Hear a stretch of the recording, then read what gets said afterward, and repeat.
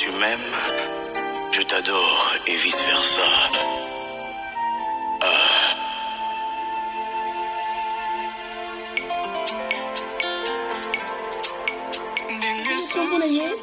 Maman Carole Barapila. Mama Carole Barapila balobi la femme du moment mwasi nzambe mwasi nzambe ye wana nde moto asaleli biso Africa mixed Mama Carole I love you for the baby is choose Africa mixed I love you good morning teacher I like God win God win Bolanda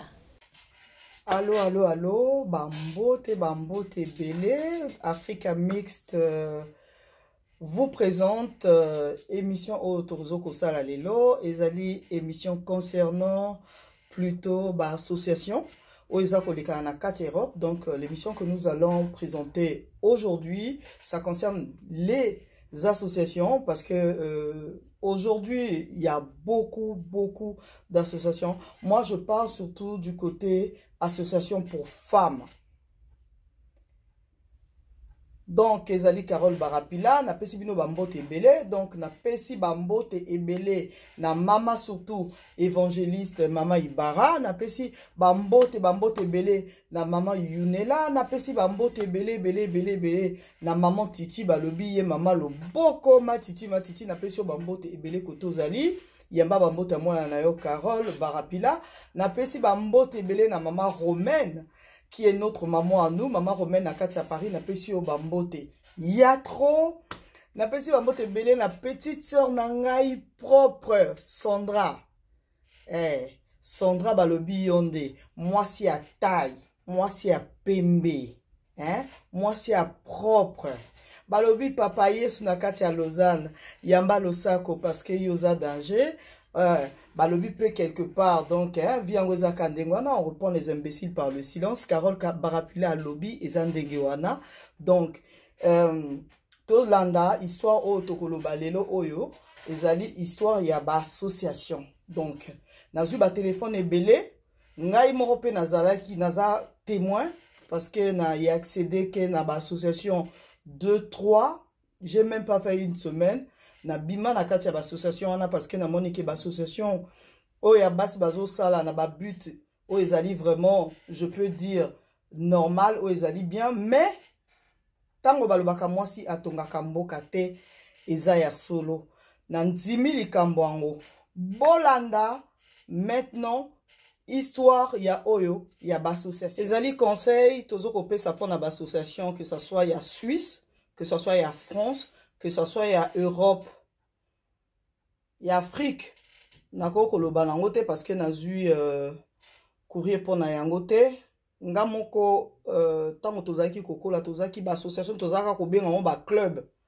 voilà napesi miss promotion mbote ya tro na kati ya brazzaville club na ngai ya bomwana ezo koexiste ti lelo napesi bino chapeau mpo na continuation wana nga moko mpe naza toute façon un peu na kati mais naza mosika balobaka loin des yeux près du cœur on est ensemble avec vous maintenant nazo parle na baassociation ya poto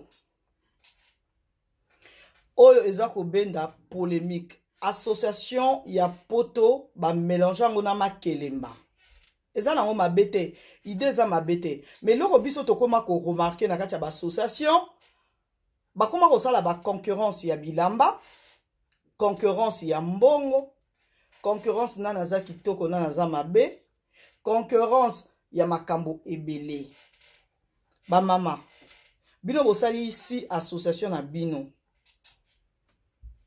association eza na babute oyo ezali justifiable oyo eza na babute oyo ezali ke bokoki mpe kokende likolo mais comment se fait-il que kaka na kati ya baassociation wana kotonga bato bino kotanga baninga na bino kaka bino songisongi na kati ya baassociation oboya soki olingi bayeba vi na yo kota na kati ya association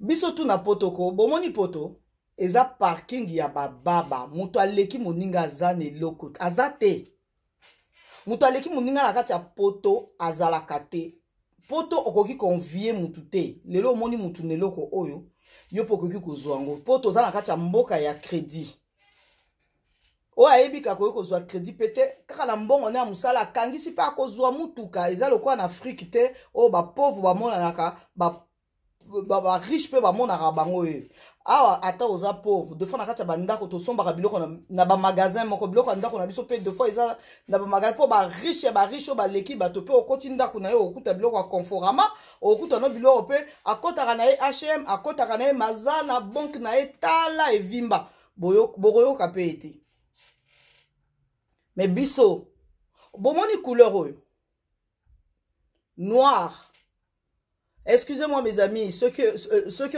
ceux qui ne comprennent pas euh, euh, le lingala donc j'étais en train de dire les associations qui se passent en europe c'est du n'importe quoi je le dis et redis bon j'ai eu beaucoup de commentaires beaucoup de, courriers qui des gens qui ont parlé de ça qui se sont plaints des associations de l'Europe, parce qu'on ne va pas parler que de la Suisse, l'association et ebele na lobi nous sommes parmi oh, il y a bien pesali. mais la majorité je dis bien 80% caca, na caca c'est du n'importe quoi c'est même pas vraiment des associations au fond c'est des concurrences qui a beaucoup plus d'argent euh, euh, qui a mis, euh, qui a porté Dolce Gabbana. moi, j'ai mis Chanel. J'ai acheté des lunettes. Mais comment Tokoki peut évoluer Comment on peut évoluer dans ce rythme-là Il y a une association. Tu as laissé tes, enfants à la maison, ton mari à la maison. Tu as dit à ton mari, bon, Nakei association. Oko Makuna. même pour, pour t'habiller à la maison. Ouais, se maquiller, c'est pas un problème. Mais comme si tu partais, je ne sais pas, rencontrer la reine d'Angleterre, sac à Gucci, Nani. Dès que tu arrives là-bas, ton sac, il est à table. Tu es en train de parler en l'air, en l'air. Donc, dans l'association, vous commencez même à sortir avec les mêmes garçons. Bambanda, bazan la kati association. Bozo Kendewap.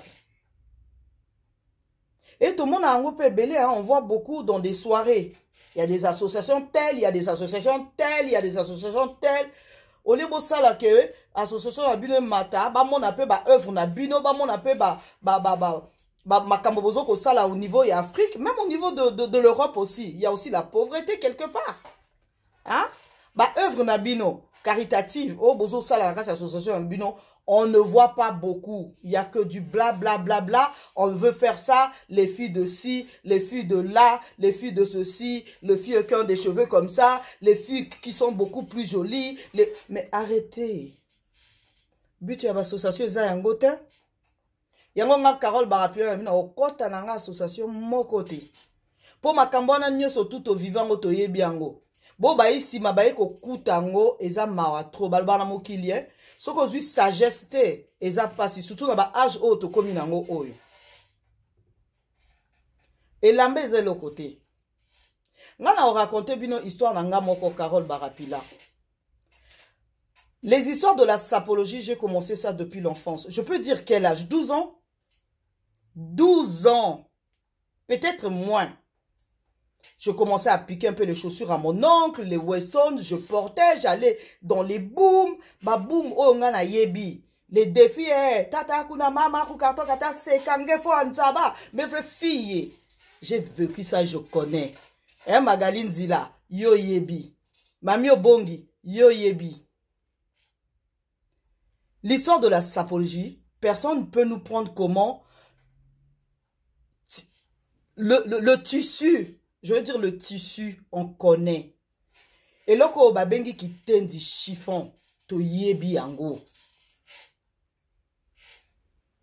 Arrivé en Europe, J'ai mis ça encore. J'avais déjà la pratique depuis Brazzaville. Donc ici, en Europe, c'était encore pire. Je viens de Brazzaville. Qui ne connaît pas Mavoula, Brazzaville, la SAP Hein Nana est bien goûté. Papa Wemba, c'est le grand prêtre père.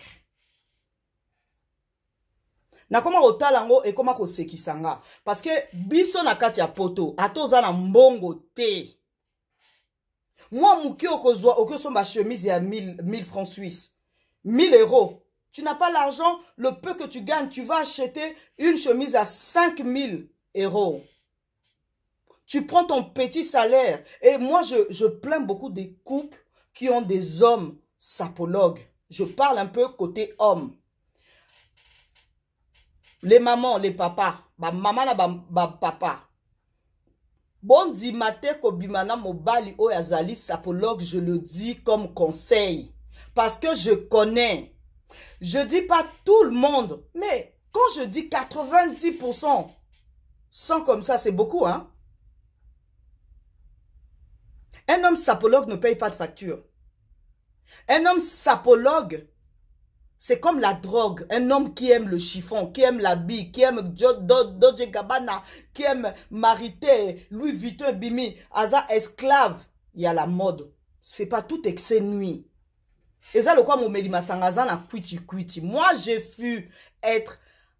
alcoolique ya kitendi moi carole barapila dieu merci abimisi nga na kati m'a fait comprendre parce que j'ai subi derrière euh, derrière tout ça parce que j'ai subi derrière tout ça j'ai perdu beaucoup de choses en étant esclave et la majorité ya bato bazali na kati ya kitendi soki olandi vi na bango bien mingi baza miyibi Je le dis. Mingi baza Yibi, Beaucoup sont des voleurs qui partent dans les magasins, sortent le matin. Bayebi misalate. Tout ça pourquoi Ah, parce qu'il y a une fête dans deux mois. Et le ronini, qu'est-ce que je vais porter Déjà, tu as eu une étiquette. Tu as sorti déjà ton statut sapologue. Donc, faut pas te fatiguer. Faut toujours être à la page. Faut toujours montrer ce que tu as porté. Faut toujours montrer tes Weston ou autres. Faut toujours et toujours et encore what, what, what, what. Alors que tu as une femme et des enfants. Et si c'est une femme, tu as des enfants et un mari. Tes enfants souvent ne s'habillent même pas. en même temps, ton, a ressemble biloko a bien Même commission à la maison souvent tu ne le fais pas. Si tu gagnes 2000 euros, 2500 euros, c'est fini. Tu pars acheter une chemise, un ensemble à 5000, 6000. Ah, là tu donnes des acomptes, hein. Parce que je vous dis, moi j'ai fait ça. J'ai fait ça. Je partais dans un magasin, un truc qui coûte 6000 francs, je donne un 1000. À la fin du mois, je donne comme si je payais une voiture occasion. Et j'étais dans le flou. J'étais dans un rêve. Je pouvais pas. Pour moi, je ne voyais que ça. C'était ma vie. Jusqu'à ce que j'ai perdu beaucoup de choses. J'ai perdu mes voitures. J'ai perdu mon mari à l'époque. J'ai perdu ma maison.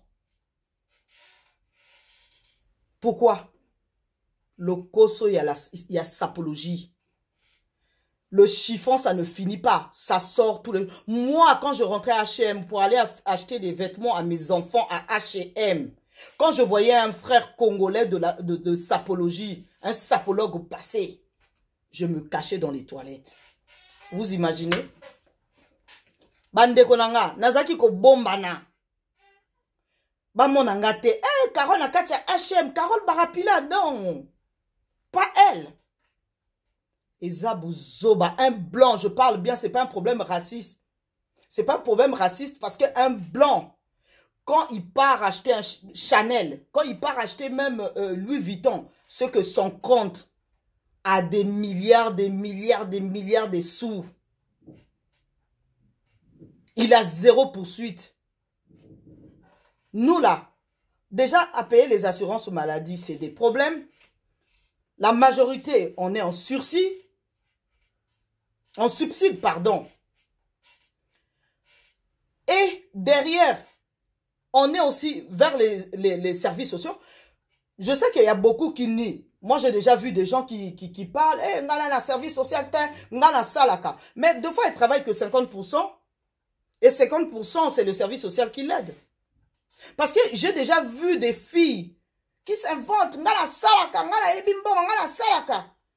ah, la personne qui dit nga moi j'avais pour moi mes soucis je suis parti au service social qu'est-ce que je vois la personne qui dit nga nasalaka nga salaka il est temps faut qu'on arrête ces conneries moi je dis pas que moi je peux plus acheter aujourd'hui Dodje Gabbana ou autre j'achète mais au fait c'est pas ma priorité aujourd'hui Et sa priorité était... Quand je peux, je le prends. Quand je ne peux pas, je dis toujours, mon Dieu, ce que c'est pas pour moi cette robe, c'est pas pour moi ce pantalon, ça passe aussi. Donc, je ne me fais pas un centre d'encre pour ça. Je m'inquiète pour mes enfants, qu'est-ce qu'ils vont manger demain Je m'inquiète encore pour ma voiture, j'ai pas payé l'assurance de ma voiture. Comment est-ce que je vais faire pour payer l'assurance de ma voiture Alors toi, monsieur, qui aime la sape, nayebi mingi bokomona nga bokomona video oyo. Bozala na discernement. Nzamba akotela bino. nzambe akotela bino nayebi bamisusu baomona e eh, we nasomba ndako natonga nalataka naza sapologue osomba ndako certe otonga ndako yango osomba na poto mpo osombi ndako kuna ofandaka ah, mingi lelo bakoma kokunda biso ah, mpo nga namoni namoni te pourkui lobi soki nakufi bazwa corps na nga bamema yango na afrique alors que bana na nga baza awa Na sala vie na ça fait 30 ans et eh, ça fait 30 et quelques que je suis en Europe. Na ya na âge à 19 ans. Siko na okendo ça en Afrique ni. Ba na nga ba futa habillé pour okendo tianga ba fleurs et ça na sens te. Ndako wana ozotonga ozotongola loba ozotonga kutu beritier na yo te mpo bana na biso bakotikalaka kokende kofanda na afrike te toyebi yango tolinga tolinga te eza soi na biso te Afrique, et ont racisme à l'Afrique, fait que reculer. Et je ne vois pas nos enfants aller vivre là-bas demain. Nos enfants, c'est des bounties, hein. C'est des bounties, vous savez, le chocolat bounty. Blanc à l'extérieur.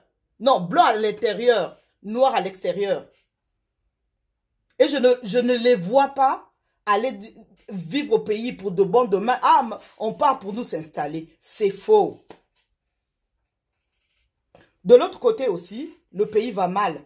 En cas de guerre, on te pille tout. Ça m'est déjà arrivé. Alors, je ne dis pas aux gens, n'achetez pas, n'arrangez pas vos pays, mais modérez vos dépenses. Plutôt, essayez de mettre de côté pour vos enfants pour vous si vous voulez vous habiller oui mais de temps en temps tout excès nuit basi ya association boza na bana ozoya association osombi chanel lobi okomi mpiaka okomi obeta cope fo naluka cope eh, nakende turki nakosomba biloko nabanda mwa koteka bafo bamarke mpe bookota yango kaka na kati Mais les associations ne sont pas faites pour aller s'inventer, pour aller montrer que moi je suis jolie, je suis belle, je suis, euh, je ne sais pas. Au bout d'un moment, faut arrêter. Et eh, mesdames, vous qui êtes sérieuses, parce qu'il y a des femmes sérieuses là-dedans, quand vous voyez des trucs comme ça, sortez. bobima na baasociation wana parce ekoaporte bino kaka problème kaka baproblème eza bien te baassociation ya lelo ekoma baassociation ya pate d'arachide association ya nguba 3 pièces mpe ozwi kwango otie boye na pilipili kwa au fait ya rien ba problème eza na bamboka na biso ba orphelin baza ebele ba œuvre nini obino bozosala oke okay, tomoni comme tomonaka ba carton du cœur ya baassociation ya mindele ya mindele oyo bazokosala mpe ezokomonaka baedaka biso mpe awa le comme des chaînes de bonheur des chaînes du bonheur là bino bozosala nini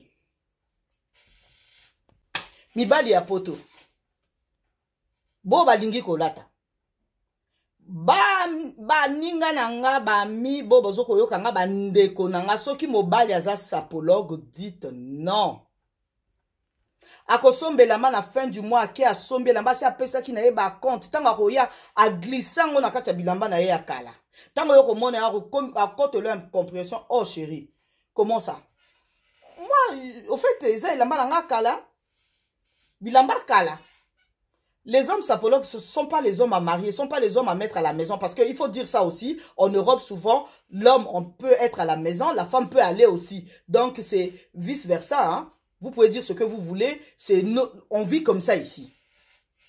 Parce que l'homme, tu ne verras pas son argent quand il est sapologue. Toujours des explications et il est voleur.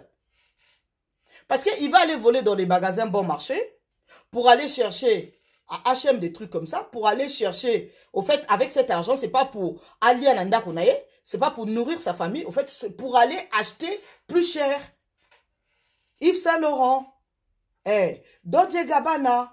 Et dehors, tu vas voir le mec, il est en train de bomber, de gonfler, de faire tout ce que tu veux. Mais il n'a rien. Il n'a rien. Et je demande dans tout ça, il n'y a pas de retraite. Des vrais apologues que moi, je respecte aujourd'hui, qu'on a fait quand même un chemin ensemble avec moi, Hakim Prince de Lausanne. Parce que lui, il travaille. De temps en temps, il achète ses trucs, il sort, il fait du bruit, il disparaît. Parce qu'il a le temps d'économiser. Il a le temps. Avec le temps, je pense qu'il a pris aussi, euh, il a compris aussi que comment ça marche. Parce que avant nous tous, on était dans les bêtises. On était dans les bêtises. Il faut arrêter. Arrêter, arrêter. La sapologie, c'est bien. Mais c'est bien quand tu es millionnaire, quand tu es milliardaire, quand tu as un peu. Si tu as zéro, au fait, c'est comme si on t'a Tu feras rien dans ta vie.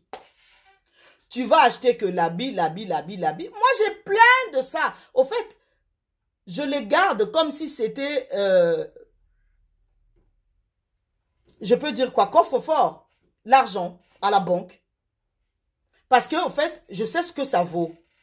Mais c'est des trucs quand tu veux vendre en deuxième main, mais ça ne vaut plus rien. C'est comme, euh, euh, je peux dire, c'est comme quoi de fois, c'est comme les bijoux. Tu achètes beaucoup plus cher quand tu veux euh, vendre ça. On te, on te donne euh, un prix que tu peux, euh, tu peux crier. Tu vas te dire merde quoi.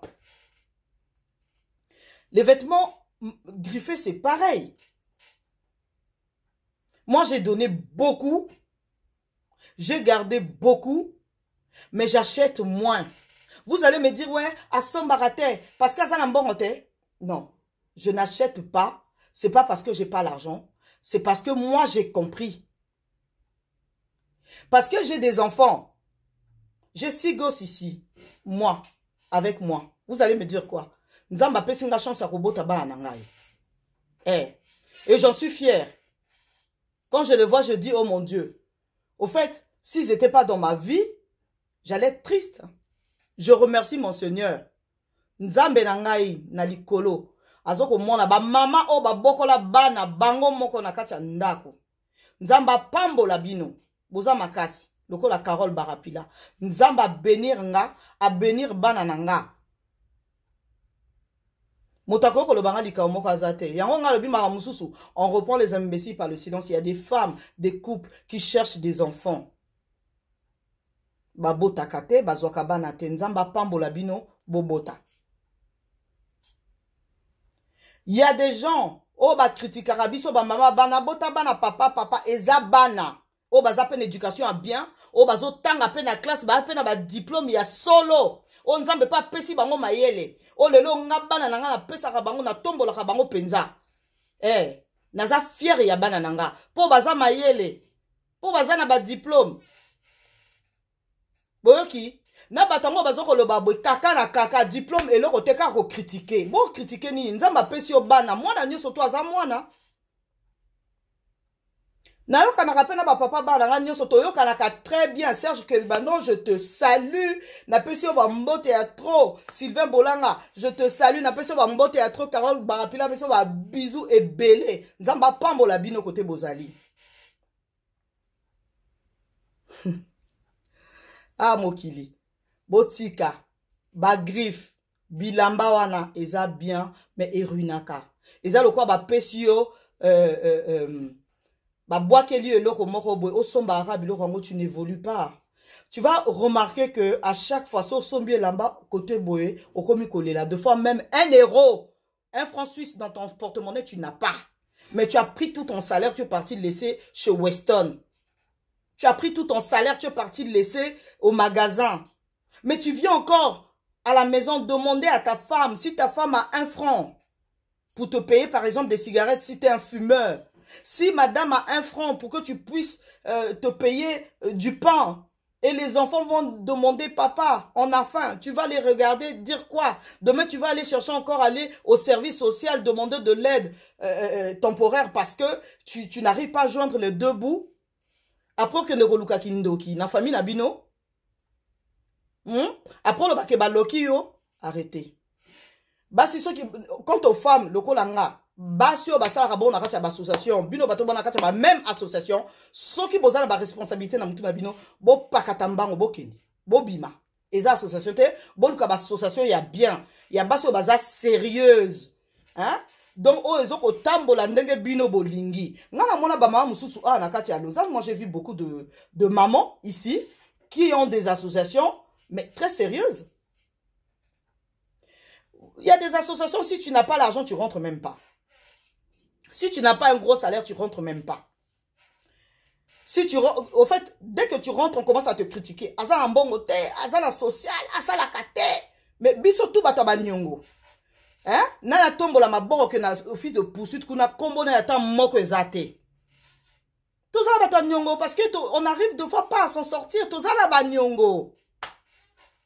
hein?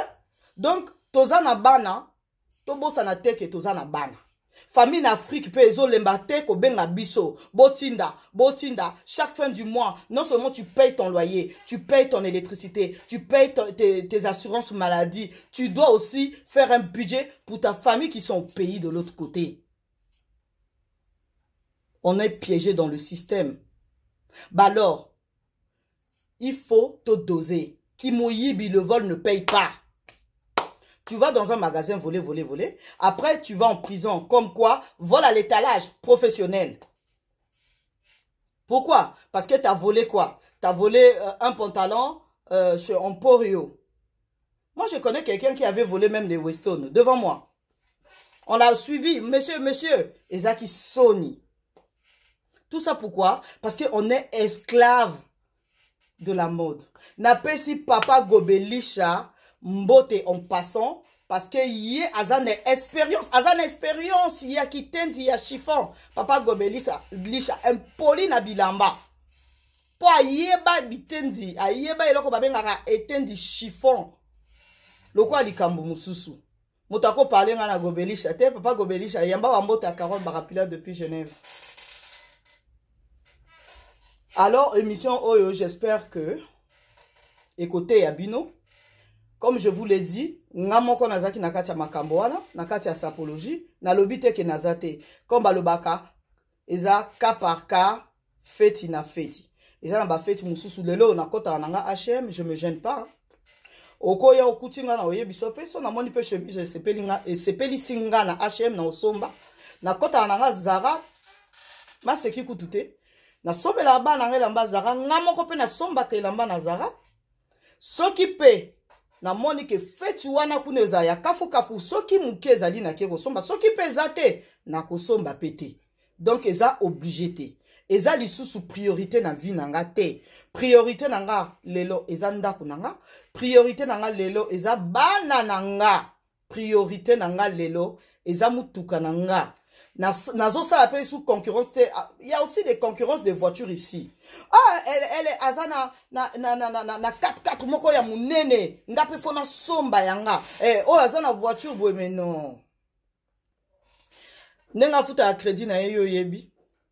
ta mosusu aza na pompier na ye moko boye na nsima na ye pompier arosaka ye quand elle chauffe alors c'est ce pompier là qui lui achète la jeep là toi tu sais ta mosusu atekaka nzoto na ye na, na, na, na, hein? atekaka nzoto na ye na ndenge akati mini na se boyebi te ngai nayebi bafille mingi awa ah, balinga kolata beaucoup de filles adore sa billet les gucci les chanel mais derrière elles font la pute classique juste pour acheter ça juste pour qu'on parle d'elle mais tu, vous savez dans la vie hein, il hein, y a des fous vêtus et non vêtus Les non-vêtus, ce sont des fous qui sont reconnus hein, dans la société.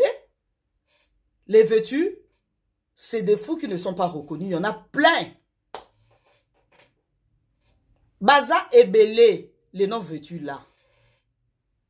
Bon, ça, très attention. totambola na kati ya bagroupe mosusu bofandi na bato oyo ofandi moto azosekisa mazaka ne liboma ye moko kutu ayebi te kaza liboma bobanda koremarke yango na bageste na ye ha? na ndenge na ye na ndenge atretaka mwasi na ndako na ndenge aparlaka vie ya, ya, ya mwasi na ye libanda ça c'est les vêtu ça bapapa je répète encore mibali oyo soki afandi na mwasi na kati ya ndako azwi secret nyonso c'est-à-dire quand on dit le linge sale se lave en famille mutakala ya mwasi na ye makambo ya mwasi ata olingaka mwasi yango te mobali un homme qui se respecte ozwi yango okoki kotonga mwasi na yo libanda mwasi na ngai azalaka boye mwasi na ngai azalaka batatouage nzoto mobimba mwasi na ngai libumu nduta libumu nduta abota ti balobaka kitoko ya mwasi eh, mpo na nga soki oza mwasi kitoko bota bota totala kitoko na yo ngai na na bana sis ngai eyo bota bota totala kitoko na yo ntango oboti te koloba te koza mwasi kitoko ntango oboti te kosinvente te mpo tomona mingi awa babota moko aboti kaka moko ya nzuluki mibale ya nzuluki misato combien de fois sylvie zola par exemple mwasi kitoko soki alati olobi oyo mama ministre Magaline Dila soki bomoni on dirait même pas bota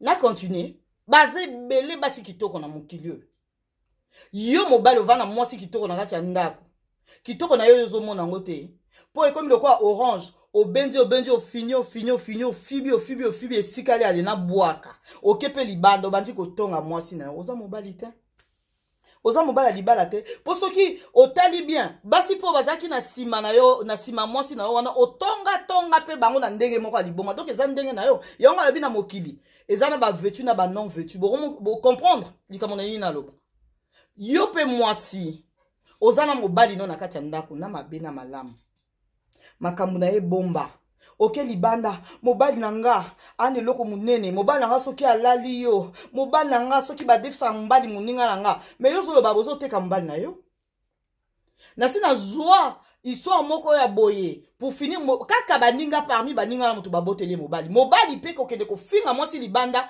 kaka mpe baninga wana moto baboteleli ye mwasi eteya bino bosambela bobosana nzambe na bino te mpo nzambe azali centre ya nyonso nalobaka yango nzambe azali centre na biso napesi encore mama na nga évangéliste ibara bampote mpo azali mama évangéliste ye moto ateyaka biso ayaka na bandako kokumbisa ko, ko, ko, nzambe na ye kokumbisa biso kolakisa biso nzambe totondi yo botondi napesi pasteur dodo munona bambote ya trop kote ozali donc euh, respect napesi pasteur anderson kadima bambote ya trop respect respect mpo na bino donc petite sœur joanne kadima napesi yo mpe bambote ebele ebele ebele ebele donc napesi bambote ebele na yaya na nga balobi ke yaya baleki alobaka te la force tranquille afanda tranquille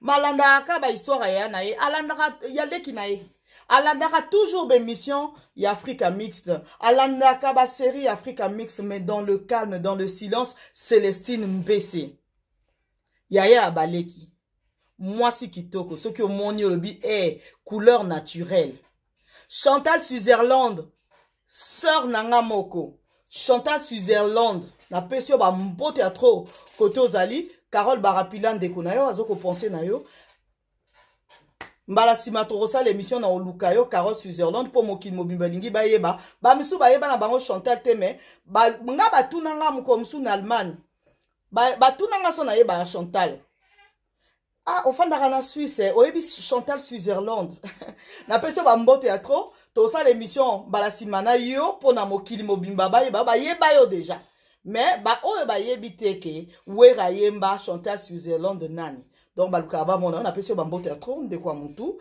napesi bino bambote ebele nakanisi kala mingi te tokomonana angèle lumière na kati ya france voisine ndeko ya motu petite sœur ya carole balobi mwasi mwinda epelaka babote moko soki omoni otali ko oyebi o oh, oyo mwasi balobi mwasi mwasi nzoto angèle lumière kitoko partout donc voilà napesi bino bambote ya trop africa mixte vous dit à très bientôt boyamba losako bochange euh, 2020 eza 2000 ezali année ya changement ba gros bisous à très bientôt Mouak.